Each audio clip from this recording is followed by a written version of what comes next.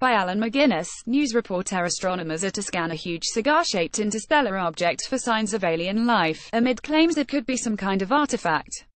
Researchers involved in SETI the search for extraterrestrial intelligence will turn a powerful dish telescope towards Oumuamua, which was first spotted in October.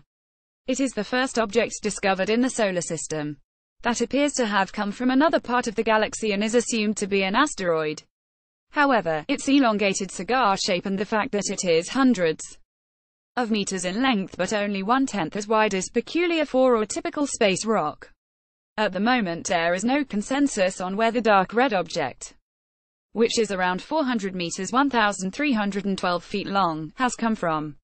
In a statement, the $100 million £75 million SETI project Breakthrough Listen said researchers working on long-distance space transportation have previously suggested that a cigar and needle shape is the most likely architecture for an interstellar spacecraft, since this would minimize friction and damage from interstellar gas and dust.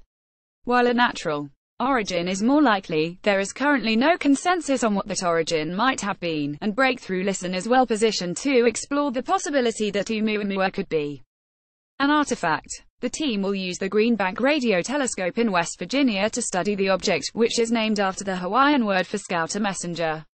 The giant dish the largest fully steerable radio telescope in the world will listen to Oumuamua across four radio frequency bands, spanning 1 to 12 GHz from 8 p.m. UK time on Wednesday. Lead scientist Dr. Andrew Siemion, director of the Berkeley SETI Research Center in California, said Oumuamua's presence within our solar system affords Breakthrough Listen an opportunity to reach unprecedented sensitivities to possible artificial transmitters and demonstrate our ability to track nearby, fast-moving objects.